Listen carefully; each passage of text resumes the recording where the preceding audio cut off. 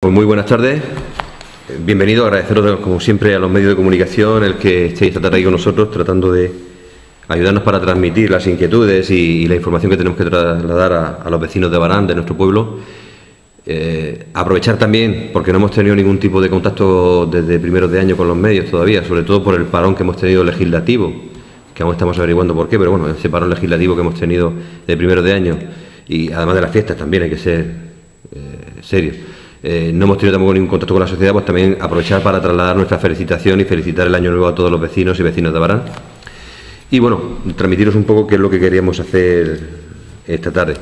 Eh, mirad, nosotros no somos un partido que nos dediquemos realmente a, estar continuamente en los medios. Tratamos, cuando llegamos a los medios, tratamos de estar sobre todo porque tenemos cuestiones que trasladar a la sociedad. Pero eso no significa que no estemos trabajando continuamente con los colectivos, con los vecinos, con, las barriadas, tratando de buscar soluciones y tratando de trasladar esas soluciones pues a través de las distintas vías que tenemos. Bien sea exigiendo a través de organizaciones que nos pueden echar una mano, bien sea a través de las mociones y las preguntas que hacemos en los plenos y las gestiones que hacemos en el ayuntamiento, o bien sea, como en este caso se trata, a través de pedir a nuestro partido trasladar nuestras inquietudes, la inquietud de los colectivos de Barán, de las exigencias y sobre todo de las necesidades de los vecinos de Barán, o de aquellas cuestiones que afectan a los vecinos de Barán, aunque la inversión no se genere en Barán, y trasladarlo a, nuestros diputados eh, regionales para que sean ellos los que en la Asamblea Regional defiendan, pues bien a través de enmiendas, como es este caso, o bien a través de mociones, como suele otro caso. Para eso tenemos esta tarde a Consuelo Cano, que es diputada regional y que es la responsable precisamente de, la zona nuestra eh, como diputada. Además lleva todo el tema también de sanidad, y, políticas sociales y yo le voy a ceder ahora la palabra para que ella nos explique un poco las enmiendas que se han elevado desde por petición del PSOE de Abarán al PSRM PSOE para que la llevase a la Asamblea, los resultados de las mismas un poco y aquellas que afectan de manera directa e indirecta a los vecinos de Abarán. Y ahora posteriormente pues ampliaré yo unas informaciones sobre los temas. Consuelo. Muchas gracias Antonio. Buenas tardes Abarán. Como saben, acabamos de, sacar la ley de presupuestos en la Asamblea Regional, que es probablemente la ley más importante en el año legislativo. Y por primera vez, después de muchísimos años y con la pluralidad que existe hoy en día en la Asamblea Regional, pues ha sido posible enmendar. Hasta ahora esto no era, no era viable y este año lo ha sido. Esto nos ha traído pues lo que estamos viendo en todos los medios, cierto nerviosismo por parte del Partido Popular porque no está tan acostumbrado al consenso y al debate porque no ha sido la tónica general que ha venido eh, desarrollando en nuestra Asamblea Regional. Eh, he de decir que de los 4.100 millones de techo de gasto que tiene el presupuesto de nuestra comunidad, realmente el porcentaje que hemos enmendado es ciertamente pequeño tan pequeño que no va a suponer ningún descalabro de, dicho presupuesto ni que ningún colectivo vea mermadas sus eh, ayudas o sus cuotas que ha venido teniendo. Eh, lo que sí va a hacer este presupuesto es corregir, corregir ciertas partidas que, la oposición ha llevado a la Asamblea. Y estas partidas no son fruto de la originalidad de cada grupo político, sino, como muy bien decía Antonio Moreno, ha sido la petición que nos ha hecho la sociedad y cada pueblo, en este sentido, todos los territorios y todos los pueblos, nos han hecho llegar una lista de necesidades que hemos priorizado. Hemos priorizado porque tenía que ser así. Estas enmiendas las hemos hecho desde la más absoluta responsabilidad y las líneas en las que hemos querido trabajar son principalmente el empleo, la sanidad, la educación y las políticas sociales. Y digo que se ha hecho desde la más absoluta responsabilidad porque somos conscientes de que no se podía enmendar mucho. Realmente, al, haber, eh, al ser enmiendas parciales, el, recorrido que teníamos y las partidas que teníamos que traer había que mirarlas con, cuidado y así, y así lo hemos hecho. Creemos firmemente que estos presupuestos van a mejorar en parte estos presupuestos que nos ha traído el, Gobierno de la, de la región. Y como decía Antonio, pues cada, cada pueblo nos ha ido haciendo llegar sus, sus necesidades. Y en este caso, y voy a empezar ya aterrizando por, por lo que va a repercutir esta, esta enmienda que hemos hecho en el Parlamento al pueblo de Abarán, pues es la primera y más importante y de la que mm, estoy contenta porque, porque así lo, lo dijimos el día que nos reunimos en Cieza con la plataforma eh, que íbamos a intentar echar una mano. por las distintas necesidades que presenta el Hospital Lorenzo Guirao. Desde este verano hemos estado encima de, bueno, de todas las peticiones y, de todas las carencias que tenía. Y así se lo trasladé yo también a la plataforma y a sus representantes cuando les pedí que por favor nos priorizaran qué era lo más importante que necesitaban. Y dentro de ese ejercicio de responsabilidad nuestra también hubo otro doble ejercicio de responsabilidad por parte de la plataforma que así, que así lo hizo. De tal manera que eh, priorizó en las siguientes necesidades eh, su petición. Quería reforzar el servicio de especialidades, sobre todo las especialidades que se prestan. Uno de ellos es eh, endocrinología, también el servicio de ginecología, más personal para radiología, habíamos pedido un y medio porque es ciertamente mm, urgente, así nos lo hacían llegar, porque hay derivaciones al moral en Meseguer y bueno, aquel eh, también es un servicio que ya va ciertamente saturado. También queríamos, me, eh, eh, reumatología es el otro, y por supuesto toda la enfermería necesaria para apoyar estas especialidades que han de implantarse. Junto con eso, también llevamos otra enmienda para arreglar la climatización de este hospital Lorenzo Guirao, que este verano protagonizó un montón de portadas en los periódicos junto con el Moral en Meseguer, porque era frecuente ver la, fotografía de los pacientes y los familiares llegando a los ingresos con un ventilador debajo del, del brazo. En ese sentido, el Morales ha tenido una partida importante para arreglar su climatización y así lo hemos reclamado también para el Lorenzo Guirao y estoy muy contenta de decir que, que han sido, que ha sido apoyado y que todo esto ha de venir a, Cieza, pero también va a repercutir en la, asistencia de todos los vecinos de Abarán. Esto en cuanto a las, eh, a las enmiendas de sanidad. En lo que es política social también viene uno directamente a, Abarán, que fue una propuesta de Ciudadanos, pero que también avalamos porque así lo considerábamos, que es al Ayuntamiento de Abarán para el mantenimiento del, del del Centro de Desarrollo Infantil y Atención Temprana y Centro de Día que estaba infradotado. Y también viene una partida de 20.000 euros para apoyar este, este servicio en Abarán. Otra de las cosas de las que estamos muy contentos, porque también es una petición que ha salido de los vecinos y, de, y, de, toda la parte del Boquerón, es la carretera, a ver si me acuerdo yo, el RM, la Zarza y el Boquerón. No, el Boquerón, pero era la Zarza eh, Casablanca, ¿verdad? pues esa también está aprobada y esperamos que esa carretera pueda verse reparada y dé un servicio mejor a todas las personas que allí residen y que tienen que utilizarla a diario. Decía antes que todas nuestras enmiendas venían, mm, con una línea muy clara de responsabilidad y en política social hay, hay muchas enmiendas que no vienen directamente a Barán, porque van a ser repartidas entre todos los ayuntamientos. Una de las líneas de actuación del, del, Grupo Parlamentario Socialista ha sido reforzar precisamente la dotación de los ayuntamientos, porque de todo nos ha llegado la necesidad urgente de tener mucho más dinero en su, en su caja para atender la emergencia social, para atender todas las necesidades de, política social que con la ley de régimen local, la de, la de sostenibilidad del régimen local, eh, ha causado muchísimas, eh, muchísimas eh, dudas y nerviosismo en los ayuntamientos porque no sabían cómo iba a quedar toda esta ley se queda, se queda aplazada, así lo hemos votado en la Asamblea Regional y las competencias en servicios sociales va a depender de los ayuntamientos que van a facturar a la comunidad autónoma y ella será la que deba pagar.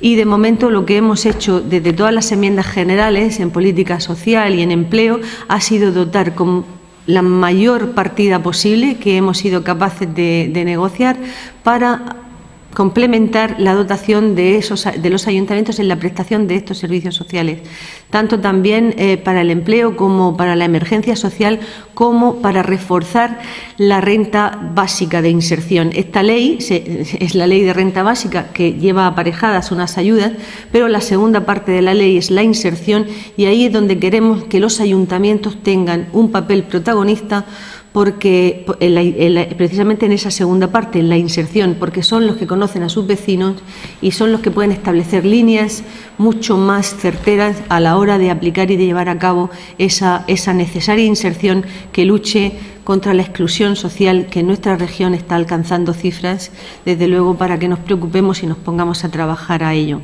En ese sentido, el municipio de Abarán se verá también reforzado con esas partidas a lo que toque de cada una de esas, de esas enmiendas que han sido aprobadas. Y, con carácter general para Abarán no se me ocurre así ninguna cosa más. De, si queréis, no sé si se me olvida algo. Bueno, pues voy a seguir yo. Y ahora ya si hay alguna pregunta, pues se la vamos contestando. Bueno, vamos a ver. Eh, estamos asistiendo a un circo mediático en la región desde los últimos días para acá. Educación se me olvida. Educación se te olvida. Pues termínala, termínala. Vale. En cuanto a eh, lo del circo mediático, al decir Antonio el circo mediático ya he pensado. el nerviosismo del PP con estas cuentas ha ido dirigido a todos los sectores a crear cierta alarma y a decir que si no íbamos a poder vacunar de la tosferina a muchísimas 170.000 embarazadas. No es verdad. Se ha tocado una partida de vacunación, ellos dicen de vacunación, pero en realidad eso hay que matizarlo porque es de gasto farmacéutico para centralizar las compras y fomentar el ahorro en las compras centralizadas de medicamentos, pero en ningún caso nosotros hemos tocado ninguna partida de vacunación. Eso es lo que ha dicho el PP, que va, donde va a actuar, pero podría haber sido cualquier otra mm, vacuna. Han cogido una llamativa, pero no es cierto. De hecho, ya anunciaron al día siguiente de poner muy nervioso a, a todas las embarazadas de esta región que no iba a ser así y que iba a ser atendido. En cuanto a educación, que ha sido otra, otra de las... Eh, comunidades a las que ha ido dirigido este nerviosismo para poner nerviosa a mucha gente en esta región es en cuanto a los 3 millones de la concertada que decían que reducíamos.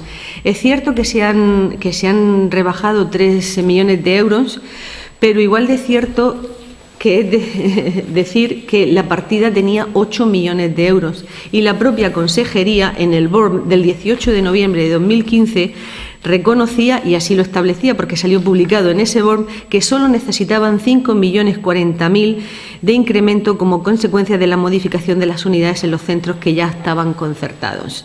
Es decir, que habían, que habían destinado a esa partida ¿eh? 3 millones de euros más de lo que decían que necesitaban. ¿Qué se ha hecho con ese dinero? No se ha llevado a otro sitio, se ha dejado en educación y va dirigido a becas de comedor, ayudas para los que más lo necesitan y desde luego el refuerzo también de todos los centros públicos que están sufriendo los agobios de una asfixia que viene mm, ya de varios años viéndose reducidas las partidas disponibles.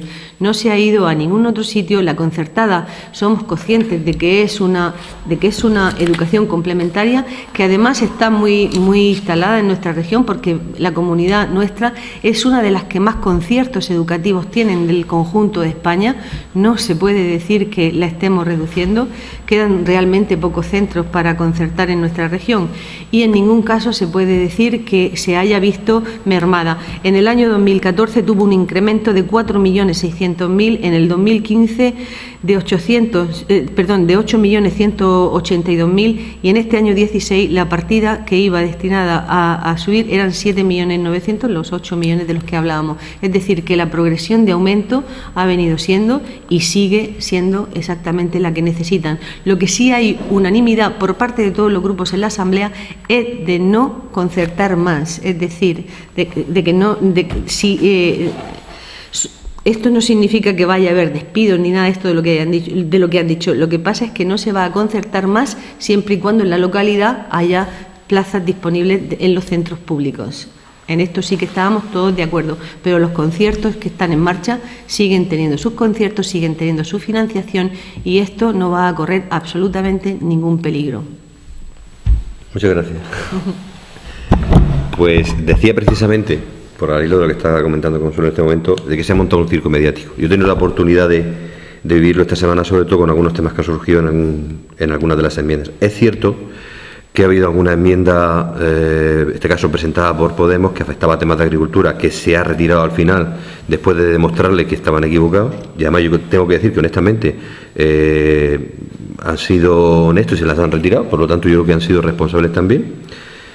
Pero más allá de esto, lo que, lo que tenemos, lo que se vislumbra en este momento es que el Partido Popular está acostumbrado a acampar a sus anchas en la región, hacer los presupuestos como le da la gana, con mayoría absoluta durante 20 años, Y que alguien venga y te enmiende la plana te molesta. Pero además te enmienda la plana en cantidades muy pequeñas, porque estamos hablando de que no hay posibilidades, porque el primer eh, batacazo que se lleva a esta región este año es que en vez de empezar a plantearse unas políticas nuevas realmente en cuanto a atacar la economía sumergida, en cuanto a establecer nuevos tramos de, de recaudación de impuestos para aquellas personas más ricas, en grabar mucho más las rentas altas, y elevar el techo de gasto, lo que se hizo fue eh, estar ahí con la pelea en diciembre del techo de gasto y con el apoyo de Ciudadanos cerrar el techo de gasto en unas cantidades que al final no han permitido realmente tener unos mejores presupuestos para la región. Pero eso es lo que había, ese techo de gasto estaba. Entonces, la posibilidad que tiene evidentemente la, la oposición es de trabajar a través de enmiendas y movilizar partidas. Y os digo esto porque nos vamos a dar cuenta los ciudadanos de aquí a tres, cuatro, seis meses de que esos pequeños detalles, esas cuestiones que tampoco tienen tanta trascendencia económica, sí que van a tener un impacto en la vida del día a día de los ciudadanos, en el hospital de Ciesa, en ese comienzo de las obras de, la carretera de la Salsa, al Boquerón, y una serie de cuestiones que son muy importantes para el día a día de los ciudadanos y que sí lo van a ver. Y que van a ver que no se hunde la región y que no se cierra nada ni se hunde nada que lo único que se hunde es el orgullo que tiene este Partido Popular, que tiene mucho orgullo, pero con el dinero de los murcianos y que se le tiene que empezar a acabar. Tiene que empezar a pensar un poquito más en general. Y sobre este tema deciros también que yo lamento, lamento profundamente eh, que nuestro Partido Popular de, nuestro pueblo, en este caso, eh, no haya tenido un poquito más de valentía y haya apoyado o haya exigido como mínimo a su gobierno eh, en la región que hubiese apoyado estas mociones, porque, por ejemplo, el tema de, la carretera de Boquerón, que es una moción que tenemos aprobada en pleno y que son los, acuerdos de pleno son de obligado cumplimiento, pues si la oposición, si tú no has tenido la, valentía, precisamente, de dar ese paso, ir y pelearte con el consejero de turno para que meta esa partida, si al menos si la ha puesto la oposición, apóyala. Bueno, pues voto en contra.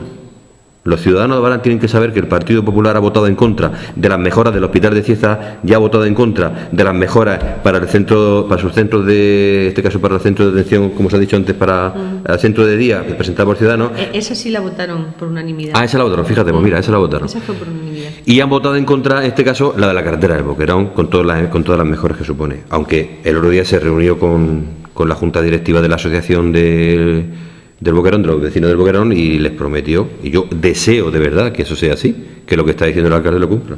Pero yo creo que eh, necesitamos más hechos y menos palabras. Por lo tanto, yo esperaba que hubiese habido algún tipo de movimiento para apoyar estas cuestiones. Lamentable, eh, son las costumbres que tienen, son las formas que tienen de hacer, pero evidentemente nosotros vamos a seguir a las nuestras, que es trabajar por los vecinos de Barán. Y como decía al inicio de esta rueda de prensa, lo que estamos tratando es precisamente de poner en funcionamiento toda esta maquinaria, de trabajar con los vecinos y que todo eso es lo que nos está llevando. O sea, no se nos ocurre por ciencia infusa vamos a presentar esta moción. No, presentamos una moción porque tenemos contacto con los vecinos, con los colectivos, vemos los problemas que existen y tratamos de ver de qué forma se pueden aportar soluciones. Al igual que tenemos un problema y es que hemos aprobado varias mociones en la última en el último año, algunas están aprobadas y la, la cuestión siempre es la misma, es que no hay dinero. Mm, vamos a ver, vecinos y vecinas. En la región de Murcia tampoco había dinero.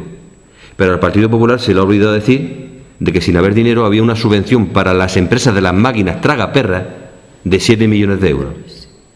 Y yo pregunto, ¿qué es más importante?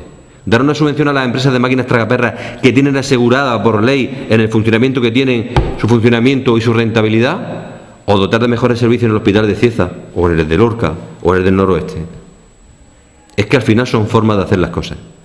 Y por, supuesto tenemos grandes diferencias y vamos a tener grandes conflictos en la forma de hacer porque no somos iguales y ni siquiera somos parecidos.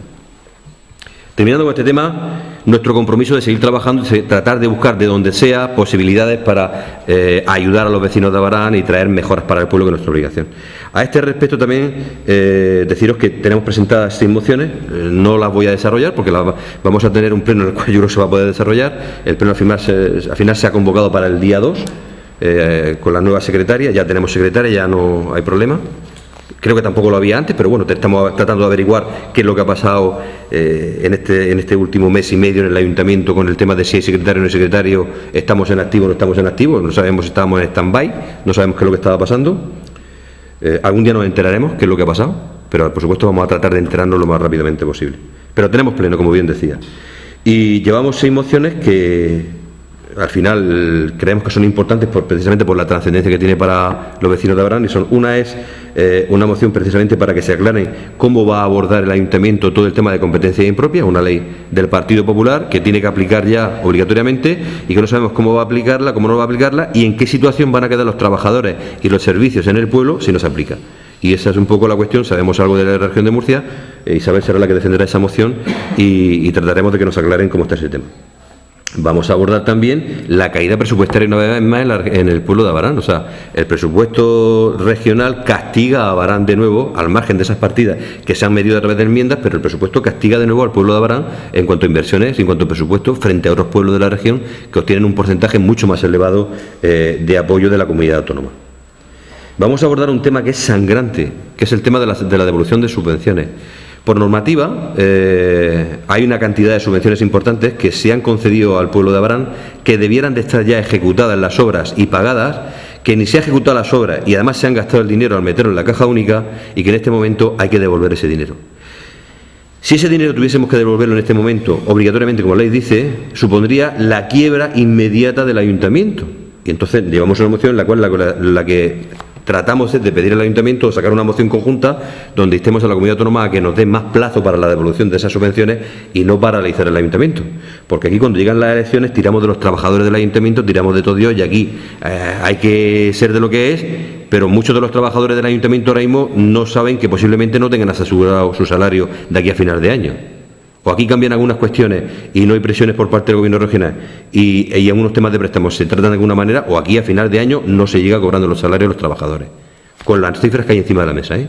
Y no me gusta ser pájaro de mal agüero, pero esa es la realidad que tenemos. Por tanto, habrá que tratar de proponer soluciones o alternativas para, que eso se, para darle salida a eso. Tenemos también una enmienda de horas de emergencia que es una, visita que hemos estado haciendo con los vecinos a las distintas barriadas y pedanías del pueblo, donde hemos visto y estamos, vamos a tratar de traerle al alcalde aquellos temas que entendemos que son más urgentes. Sabemos que, algunos de ellos mm, mm, requerirán del apoyo financiero de la comunidad autónoma y por tanto habrá que tratar de que se trabaje ese tema y se podrán hacer antes o después. Pero hay otras muchas que se pueden hacer perfectamente con los servicios de los trabajadores del ayuntamiento. Y lo que le vamos a pedir al alcalde es que se ponga a funcionar, que esos trabajadores empiecen a funcionar. Porque no es lo mismo tener que pedir una subvención de 800.000 euros para hacer no sé qué o de 400.000 euros a tener que comprar dos camiones de arena y 20 sacos de cemento y que los trabajadores del ayuntamiento sean los que solucionen el problema. Eh, tenemos otra que es sobre el tema de barrera arquitectónica, donde realmente ahora lo tenemos muy mal, lo tenemos bastante, bastante mal. Y, lo que vamos a hacer es hacer una propuesta de una serie de medidas que entendemos que pueden mejorar muchísimo lo que todos son el tema de barrera arquitectónica. Y la última enmienda que llevamos nosotros, amén de que vamos a apoyar otras enmiendas también, y esta la presentamos nosotros, pero tengo que decir públicamente que la abrimos porque fue una cosa de urgencia, la abrimos también a, apoyar, a estar apoyada por otros grupos y la apoya también, esta la respalda Izquierda Unida y UID, es una enmienda precisamente pidiendo el apoyo para la plataforma del Hospital de Cieza. Es cierto que algunas de las reivindicaciones más importantes que tenemos en este momento ya están aprobadas, pero no decae la moción en cuanto a que la plataforma lleva un histórico de trabajo muy importante para tratar de mantener y que tengamos un buen hospital en nuestra zona, que nos afecta a Cieza, Barán y Blanca, y siguen habiendo reivindicaciones y servicios que no tenemos, que por supuesto la plataforma va a seguir trabajando. Yo creo que pedir que los ayuntamientos, que los ciudadanos, que los políticos del pueblo, de los pueblos en este caso, estén respaldando las necesidades de sus ciudadanos a través de esa plataforma, en este caso, donde estamos prácticamente todos representados, pues nos parece que es lo más lógico y lo más normal. Y por lo tanto, ahí vamos a seguir trabajando. Estamos con vosotros, vecinos, estamos saliendo a la calle, llamarnos, buscarnos, estamos a vuestra disposición y creedme que aunque estamos en la oposición, estamos tratando de hacer incluso cuestiones que son casi casi de gobierno, porque por desgracia el gobierno no las hace. Ahí vamos a estar, ahí vamos a seguir y seguimos a vuestra disposición. Yo en principio no tengo nada más. Si tenéis alguna pregunta de algún tema de los que hay ahora mismo candentes en el pueblo o sobre los temas que hemos estado discutiendo, estamos a vuestra disposición, tanto Consuelo como yo. Muchas gracias.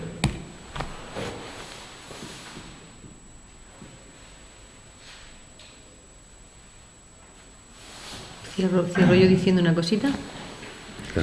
Solamente decir y repetir una vez más que ante la agitación de la bandera del miedo, de esto va a ser ingobernable, esto no puede ser, esto no, se va a poder hacer, eh, quiero lanzar ese mensaje de tranquilidad. Hemos llevado estas enmiendas con toda la responsabilidad, va a salir adelante y vamos a conseguir mejorar ciertas cosas que, que debían ser atacadas y sobre todo poner encima de la mesa que por primera vez la oposición tiene palabra y puede llevar estas enmiendas, que es la voz de la gente, la voz de los pueblos que nos piden las cosas y que tenemos la opción de sacarlas adelante como ha pasado. Y eso, muy lejos de ser una triste noticia, yo creo que es bastante positivo para nuestra región, que por primera vez esa representación del pueblo se vea, se dé su fruto en este, en este tipo de trabajos y, y que se lleven a cabo, que eso es lo que esperamos todos. Muy bien. Muchas gracias, Abraham.